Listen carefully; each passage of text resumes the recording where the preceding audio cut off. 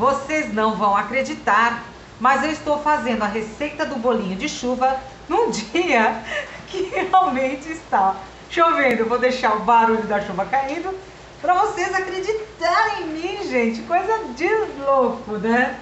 Bom, mas a receita que eu trago hoje é uma receita que eu vou usar uma farinha que vocês não vão acreditar. Vocês vão ficar de queixo caindo e vocês, olha, vai ser maravilhoso esse bolinho, ok? Bom, aqui eu já amassei duas bananas nanicas, pode ser também a prata. Quatro colheres de adoçante, tá certo? Culinário, culinário, é aquele que você vai pôr no fogo, entendeu? E ele não vai mudar a sua textura. Aqui tem pimenta, uma pitada de pimenta da Jamaica e uma pitada também de gengibre em pó. Nessa misturinha eu vou colocar um ovo, tá certo? E vou misturar. Ó. Ó, já tá tudo quase pronto, então vou misturando. Aqui também, aqui eu tenho uma colher de sopa de vinagre de maçã e meia colherzinha de baunilha. Ah, mas vai dar sabor? Não, ela dá uma textura muito boa tá certo? Vou pegar o meu batedor, né?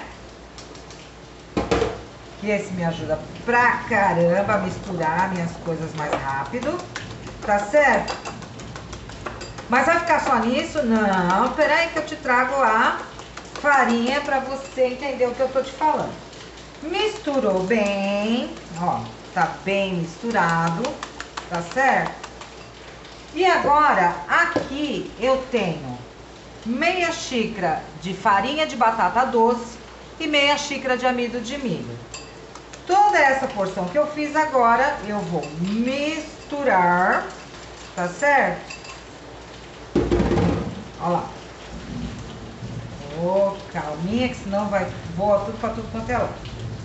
E o que, que vai acontecer aqui? Você vai perceber que ela, a, a, tanto o amido de milho quanto a farinha de batata doce, eles vão endurecer.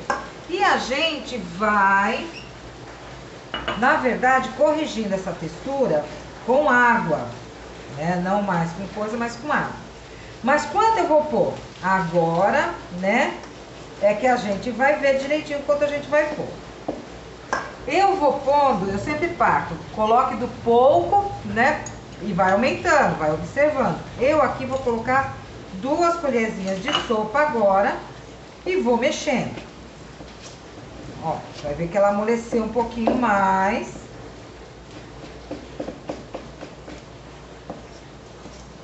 Tá certo? Vou colocar mais duas. Acho que mais duas agora já tá de boa. Vamos ver. Aqui você pode colocar uva passa, você pode colocar castanha, você pode pegar uma banana e picar também. Ó, ela tá quase no ponto, mas ela ainda... Deixa eu ver só um pouquinho. Ó, na verdade, é esse ponto que eu quero, tá? Quando ela cai, mas ela não cai aguada, ela cai, ela demora um pouco para cair. Então, corrigindo aí, porque o que, que pode acontecer? Você pode colocar um ovo maior, né, e ela não precisar fazer essa correção com água. E agora, meus queridos, para finalizar, uma colher de fermento químico, né, em pó, certo? Vamos deixar ela descansar uns 5 minutinhos enquanto a gente prepara o óleo, tá certo? Para fritar essa Continuando linguiça. nos nossos okay? bolinhos. Se você quiser eles redondinhos, então bolei com uma outra colher. Tá certo? Com uma outra colher. A gente boleia, né? A gente vai boleando e dando uma forma mais arredondada a ele. Se você não faz questão, você quer comer o seu bolinho como eu, né? Então você vai salpicando ele, vai, vai olhando sempre para ver se ele está queimando. E se tem o óleo, como eu falei anteriormente, não está muito quente, tá certo? Eu vou fazer um chá. Vou chamar meu irmão para tomar um café, um chá, tá certo? Você pode também usar este bolinho para o seu lanchinho levar, né? Antes do treino, batata doce, não esquece. Você pode usar de várias formas e maneiras, ok? Ó, esse aqui já tá, ó, tá vendo? Vai dando uma olhada, ó. Essa, esse óleo já tá ficando um pouquinho quente, ele tá fofésimo, ok? E nós vamos já tirando e nós vamos caminhando pro nosso final. E aí, agora eu fiz um chazinho. Que eu amo chá, chá preto, tá certo? Mais tarde eu tomo outro chá para dormir que me ajuda bastante, que é o chá de camomila, uma delícia, ok? E vamos ver como é que ficou esta maravilha das maravilhas. Olha só, o que eu salpiquei, canela e adoçante. Isso mesmo, adoçante culinário, sabe o adoçante em pó? Agora sim você pode, se você tiver o adoçante culinário, o, o adoçante em pó em saquinho, você salpica, tá certo? E você transforma o teu bolinho. Vocês podem me perguntar, você fritou? Eu podia assar essa massa sem problema nenhum, não, não tem problema mas eu resolvi fritar no óleo, no óleo de soja mesmo. Porque em termos de custo-benefício deste momento, deste momento, eu não como bolinho de chuva todos os dias. Hoje eu fiz, né, inclusive para mostrar a receita para vocês e para eu comer. Esse bolinho de chuva agora eu vou comer nem sei quando mais, vai demorar até às vezes ano para mim voltar a comer bolinho de chuva. Então, na verdade, Deixa eu mostrar a massa aqui para vocês. Olha só, ó, que massa boa, tá certo? Olha só. Maravilha, ó. Hum, hum, coisa boa.